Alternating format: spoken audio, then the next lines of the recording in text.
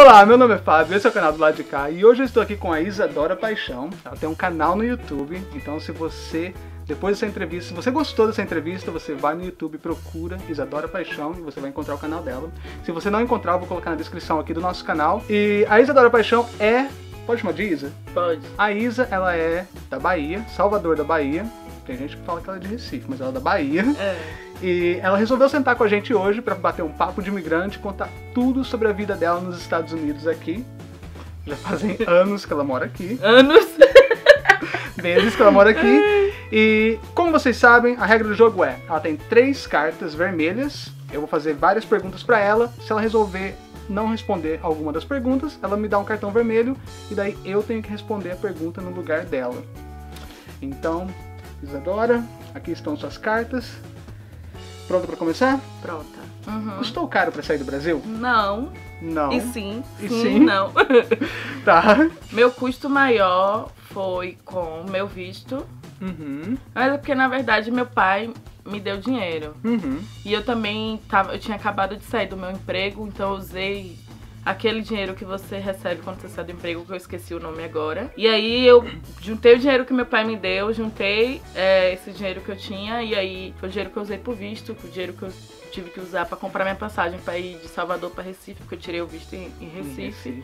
Só que quem pagou minha passagem pra vir pra cá foi meu pai. E- Então você não precisou vender nada, porque muita gente vende as coisas, vende tudo, gato, papagaio, gaiola. Não, na cama. verdade eu fiz um bazar com minhas primas. Você fez o bazar? Vendeu tudo? Não é, não, é, não é questão de fazer bazar, de vender, não. Assim, eu saí dando roupa que eu não ia trazer pra cá. Ah, tá. Salvador é calor, aqui é frio, né? Ah, é verdade. É E verdade. aí eu dei roupa pra minhas primas, dei um monte de coisa, joguei um monte de coisa fora. Chegando aqui. Foi difícil passar na imigração? Foi. Foi? Quando eu cheguei aqui, a imigração me parou. Parou, foi pra salinha? Fui pra salinha. E aí, o que, que eles perguntaram nessa salinha? Não. Todo mundo fala Foi nessa muito salinha. engraçado, porque minha mala quebrou. Eu comprei uma mala peba na Barroquinha lá em Salvador. Grande, porque eu queria Peba, trazer. Peba é o quê? É marca? Peba. É, Não! bom. O que, que é isso, É, Peba? Peba significa ruim. Ah, tá. Peba significa ruim. Peba. Aí o que aconteceu? A mala quebrou. Aí vai eu lá, eu cheguei por Miami, aí vai eu, vai eu lá pegar minha mala, mala quebrada, até eu arrastando a mala. Eu tava com duas malas.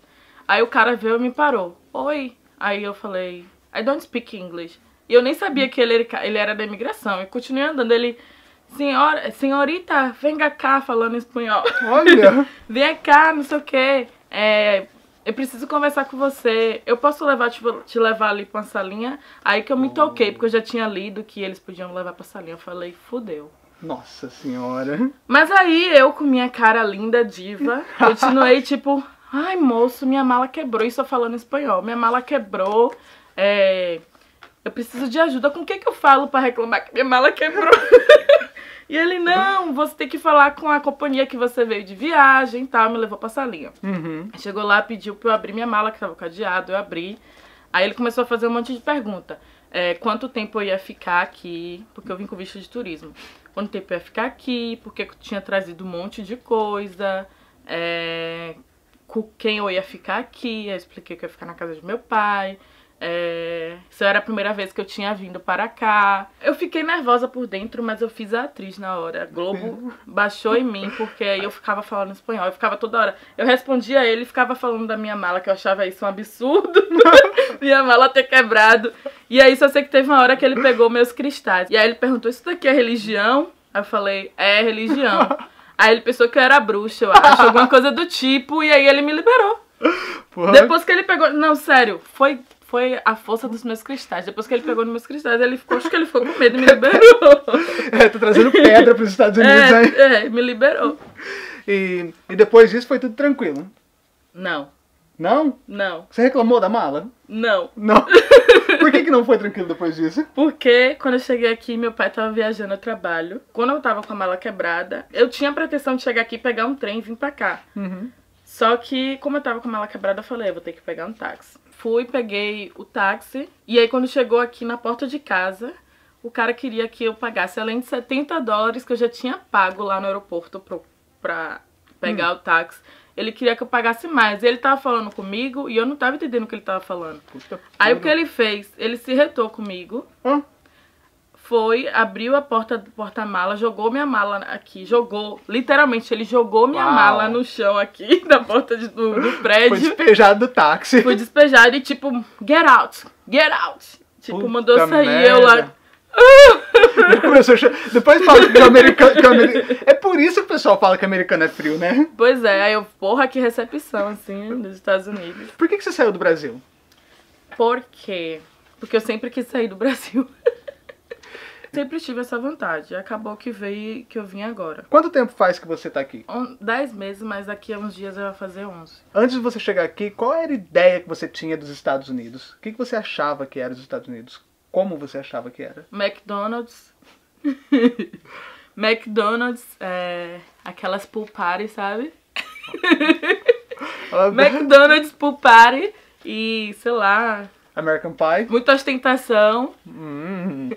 E depois que você chegou aqui, Hum. o que você pensava que era do- o- os Estados Unidos no Brasil? Depois que você chegou aqui, era aquilo? A primeira impressão que eu tive é Que que... povo rude, né? Te jogou a mala aqui. É, não, não.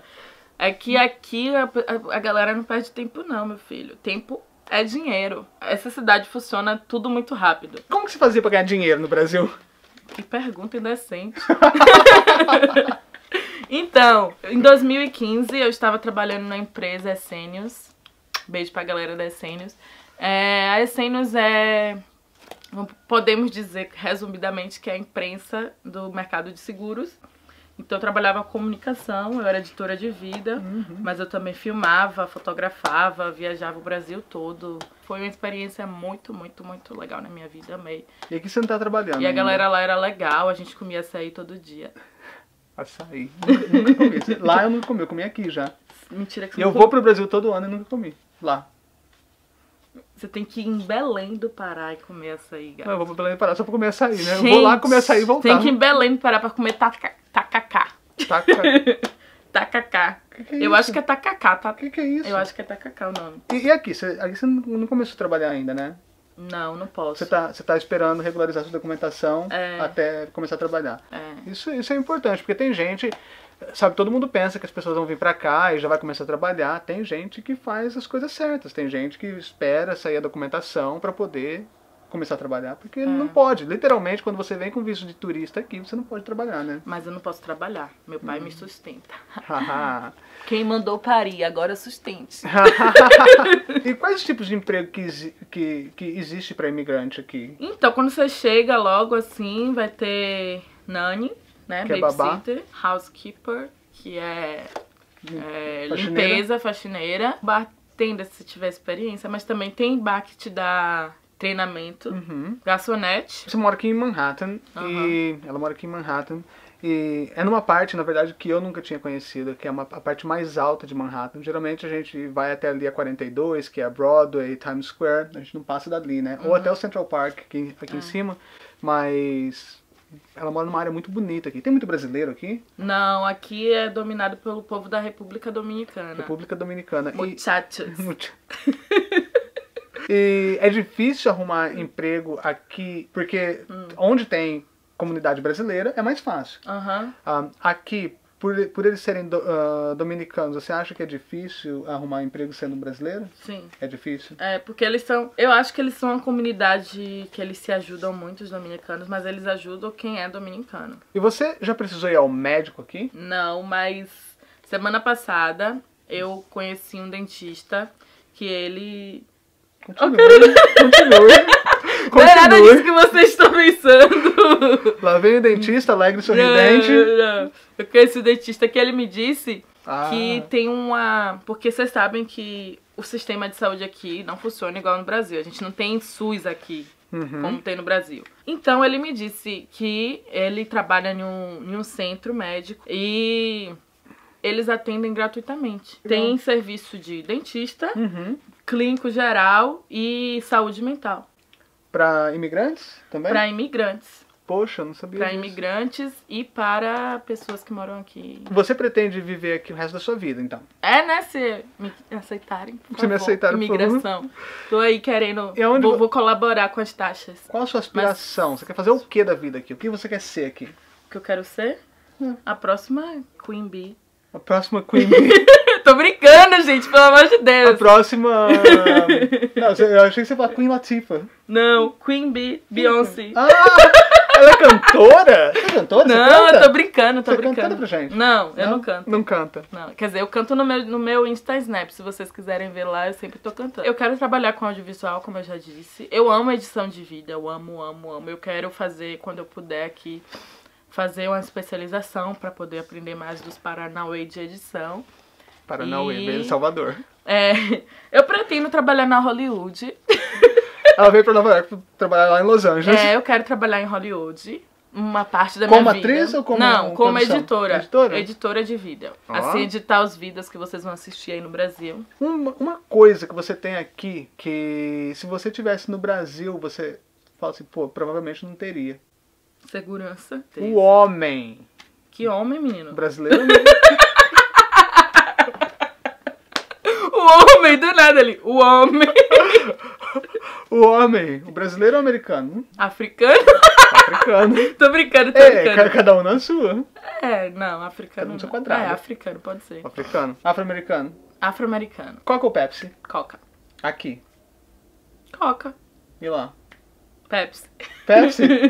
A Coca do Brasil tem gosto de Pepsi aqui, Pepsi aqui tem gosto de Coca no Brasil. Não, a coca aqui é diferente. Quando você bebe, você sente que é diferente. É, é. Mas na verdade eu gosto mesmo de beber. Você já bebeu aquele crush laranja? Ah, já, já, já. Ele é bom, porque. Ele, ele é a Fanta no Brasil. hum, É, porque ele é Fanta no Brasil. Porque a Fanta aqui Ela é aguada. Ela é aguada. é verdade. Dá pra viver nos Estados Unidos sem inglês? Não. Não? Não, porque não dá. Não, gente. Gente, dica da vida. Vá aprender inglês. E você fala inglês?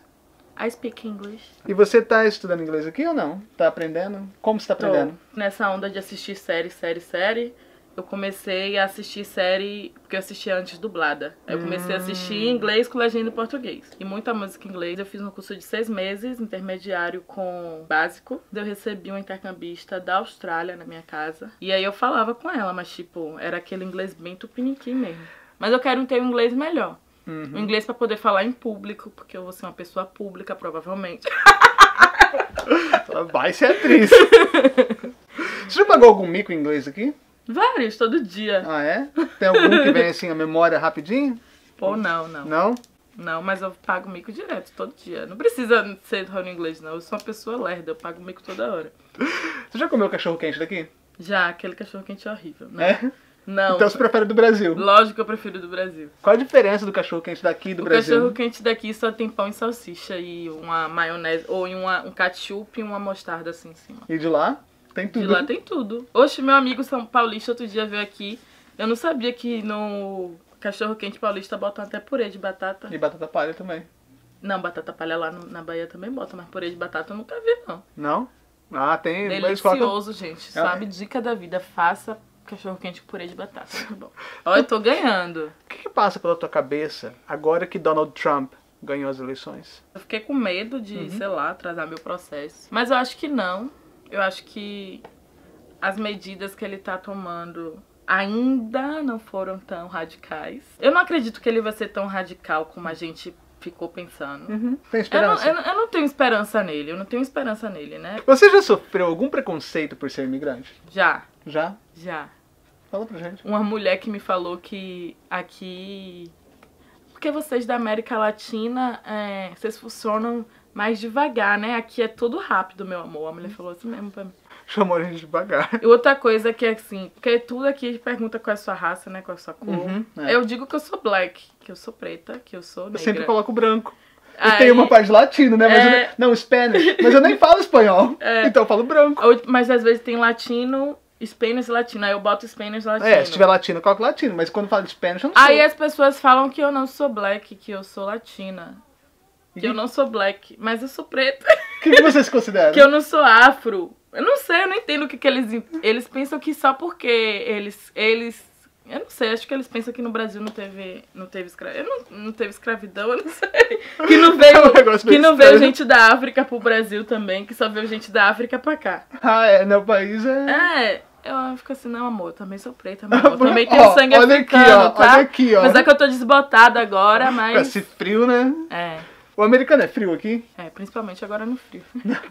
o americano é frio, mas é porque eles são pessoas que são na deles. Quando você faz, consegue, faz, consegue porque é difícil, fazer amizade com o americano, você vê que eles são pessoas maravilhosas. Porque eles são amigos leais mesmo. Mas é tipo assim, você lá, eles cá, entendeu? Eles têm aquilo de, res- de respeitar o espaço deles. Uhum. Tem que respeitar o espaço deles. Qual a qualidade do americano que você gostaria que o brasileiro tivesse? Respeito às leis. Ok. E uma qualidade do brasileiro que você gostaria que o americano tivesse? Relaxar mais, sabe? Curtir mais a vida. E o que um imigrante como você faz aqui pra se divertir? Tô pra balada, gente. Que tipo de balada? Qual o rolezinho da Isa aqui? O rolezinho da Isa, a Isa só tem amigo gay, Isa só vai pra balada gay. Foi pra balada gay. Todo mundo vai pra hop, hop como é que fala hop top? Hop top. Rooftop. Rooftop. rooftop. Tem um amigo Eu meu que nunca mora no fui. rooftop.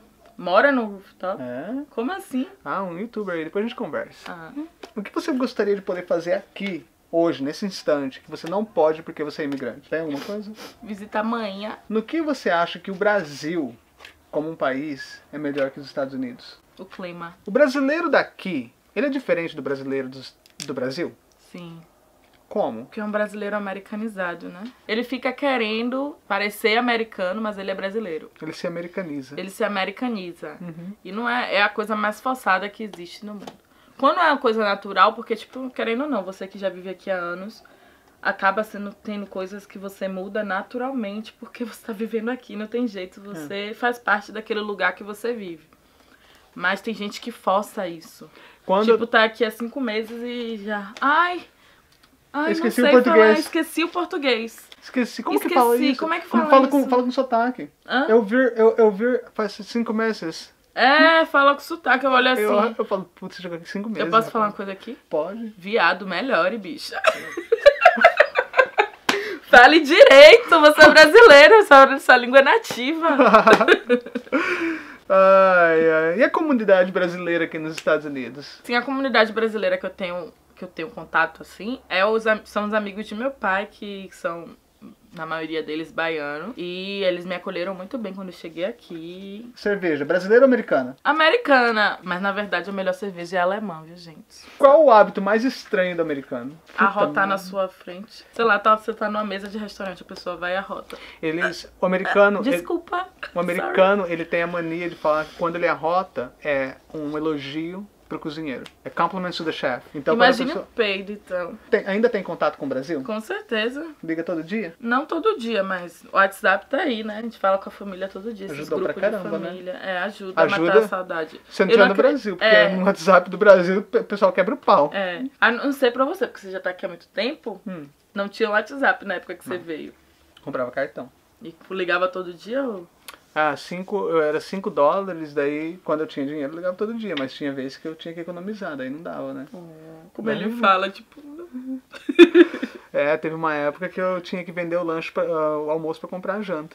Qual a música do Brasil que você tá ouvindo agora? Existe ouvindo ainda? Aquela música, porque eu, eu vi o povo postando no Facebook, aí eu fui pesquisar no YouTube que música era essa, né? Deu onda. É uma merda essa música, mas. Mas você tá ouvindo. Mas ela fica na cabeça, a merda da música. E você- bom, bom. O nome da Bom? música. Tem uma música Outra bom. música bom, de Ludmilla também é legal. Ludmilla. Você Ela, sabe quem ela é teve aqui, ó, teve aqui alguns tempos atrás. Eu sei, ela me ligou, mas a gente não pôde se encontrar.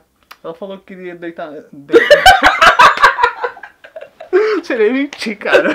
Você assiste TV brasileira aqui? Não. Qual série que você tá assistindo agora? Agora eu tô assistindo uma da. Eu tô assistindo três séries ao mesmo tempo. As três, quais são as três? How to Get Away with Mother, The Vampire Diaries, não me julguem, eu assisto mesmo. Assisto. Todo mundo assiste essa série. Até eu já assisti. E Travelers. Travelers, eu não sei se é assim que Travelers, pronuncia. Travelers. Travelers, na Netflix. Quem que você deixou pra trás no Brasil? Deixou alguém? Eu vou responder. Eu, não é porque eu tava namorando, eu namorava. nam- Tinha um namoro de sete anos. Eu não deixei pra trás porque a gente continua se falando. A gente é amigo. Uhum. Não sei o que vai acontecer da nossa vida. Eu tô aqui agora, ele tá lá. Eu vi numa situação assim também, É, quando eu vim. E você tem saudades do Brasil, do povo do Brasil? tenho. Ou ontem mesmo eu tava com saudade. E o que, que você faz quando você tá com saudade? Não sei, às vezes eu fico na sofrência sozinha. Uhum. Ou às vezes eu ligo pra alguma prima minha, falo pelo WhatsApp, ligo pra minha mãe, eu falo com esse meu ex-namorado. E qual o momento que bate mais saudades aqui? Quando tá frio. quando tá frio. Então você já foi na praia aqui? Já, já fui na praia. Gostou da praia aqui? Fui. Ou Praia- fui, gostei. A praia aqui é diferente da do Brasil. Diferente, a do Brasil é melhor. Mas Você foi na praia dos aqui- brasileiros aqui? Eu fui na praia normal? E tem praia de brasileiro aqui? Tem, na 170 em Rockaways. É. É. Só tem Como é brasileiro. isso? lá. É assim, ó, porque a praia aqui você não pode beber, tomar bebida alcoólica, É. você não pode. Só que o brasileiro arruma um jeitinho brasileiro. Então Aham. eles vendem geladinho de vinho, geladinho de caipirinha, vende. É tudo Mas por baixo eu dos bebi panos. na praia, É, assim, que- quebrando, lei, né? Quebrei lei, desculpa. Então, a praia dos brasileiros é assim, tem muito brasileiro lá, o pessoal joga vôlei, joga futebol, é como se tivesse uma praia do Brasil, só que é suja. Ah, É, não vou lá não. E eu não gostei muito de tomar banho, porque mesmo estando quente, a água é fria. Banho de mar, né? Você tá Banho de falando? mar, banho de mar. Não água gosto é de fria. banho dentro do Brasil. Não gostei, eu falei, não gostei. A água é muito fria, mas, tipo, eu fui lá em Con, Con, Con Island. Con Island, falei certo? Coney Island. Con Island. Coney. Coney Island, ele tá me ensinando inglês. Coney Island. Amei, amei, amei aquele parque. Meu pai me fez fazer umas maluquices e fui em to- quase todos aqueles brinquedos ali. Você já pensou em largar tudo aqui e voltar pro Brasil? Não. Vamos fingir que o seu negócio da imigração não deu certo. Deus é Mas- vou pra Alemanha ficar com manhã, Tem, isso eu nem vou, eu nem vou te... Quanto tempo você, você acha que consegue ficar sem ver manhinha? Eu já tô superando minhas expectativas, né? Que antes eu pensava que eu não ia conseguir ficar um mês sem ver manhã.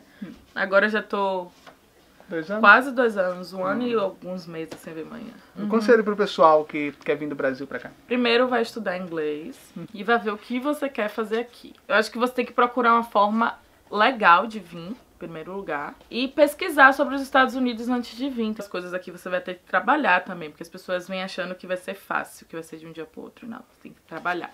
Como tudo na sua vida, nada é fácil. Tudo que vem fácil não é legal, gente. Tem muita mentira na É, internet, né? tem muita O mentira. pessoal ah, ostenta muito, daí a pessoa sai do Brasil e vem pra cá achando que vai ter tudo. Uhum.